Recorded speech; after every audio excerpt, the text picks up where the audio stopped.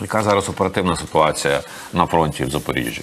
На Запоріжжі? Ворог стріляє з усього, що бігає, їздить, літає вкопана і так далі. Проблем з озброєнням у нього і з боєприпасами немає. Постійно йдуть обстріли. Громад, які знаходяться в сірій зоні на лінії бойових зіткнень. Трохи пригальмували вони використання безпілотників. Ну знову ж таки, через те, що сильний вітер подекуди, але то все компенсують е, посилення артилерійських обстрілів ведуть розвідку, постійно лазять їхні ДРГ.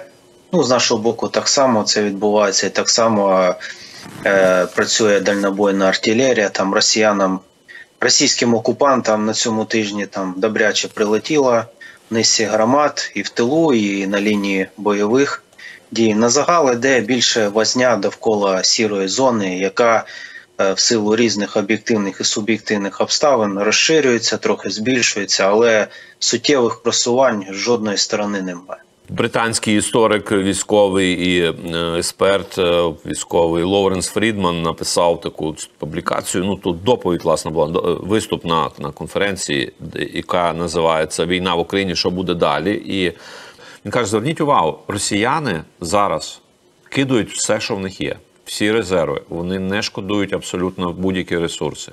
Ну там техніку ще бережуть, напевно, то що нас кажуть на фронті, що вони там колонами не штурмують. Але що стосується там особового складу і так далі.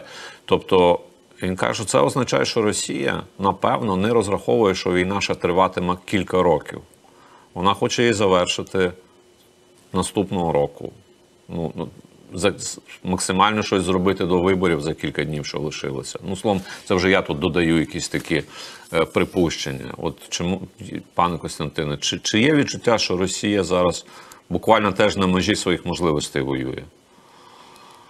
Мені складно оцінювати можливості Росії. Вони мені не цікаві. Я можу сказати, да, вони е, певний час тут на запорізькому напрямку гнали все, що у них є, але вони зазнали суттєвих втрат.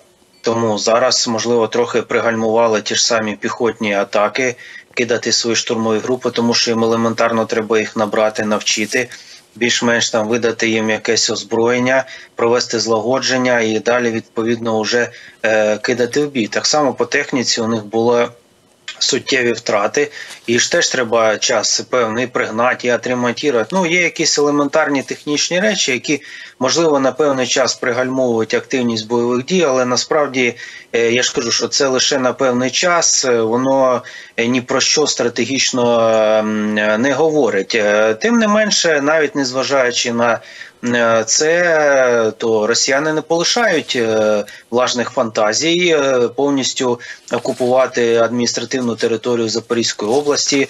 Е, Це так більш-менш глобальна, стратегічна, тактична, локальна. Вони хочуть повернути контроль над е, тими населеними пунктами, е, повністю які вони втратили. Маю на увазі це п'ятихатки і Роботіна, тому що вони мають для них не тільки політичне значення, бо були ними втрачені під час українських наступально-визвольних операцій. А ви маєте розуміти, що Територія довкола цих населених пунктів росіянами була дуже добре укріплена, замінована в три ряда, в три етажа і в три шара, взад вперед і вправо вліво. І була в них натикана купа техніки, обладнані доволі такі грамотні толкові оборонні позиції, але тим не менше вони були змушені з них відійти. В першу чергу е, ну, через е, наступ українських військ, через героїзм українських військ. І тому, е, ну і крім того, ці населені пункти мають важливе логістичне, транзитне е, значення. І, відповідно, росіяни будуть намагатися відбити їх назад, е, повернути під свій спочатку вогневий контроль, а потім і фізичний. Хоча, як показує досвід, те ж саме Роботіна. Да?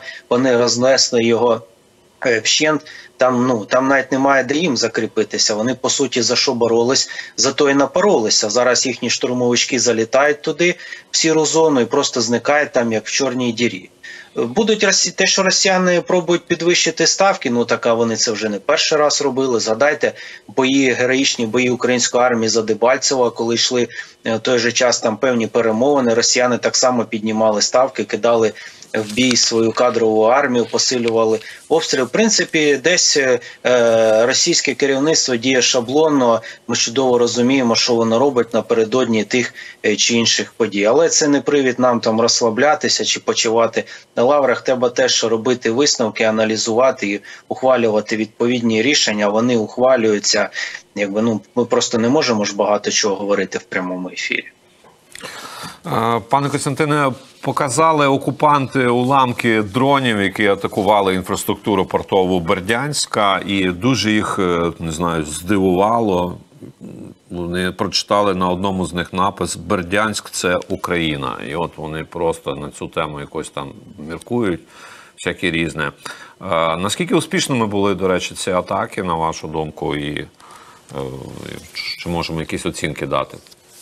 Ну, вважайте, що українці провели для росіян урок географії. Бо росіяни там трохи путаються іноді в картах. Да. Їм просто в чергове нагадали. Да. Ну, у них по географії, як і по історії двойка. Да. Поэтому так, е, суттєві втрати, це ж уже не перший раз по Бердянську прилітає.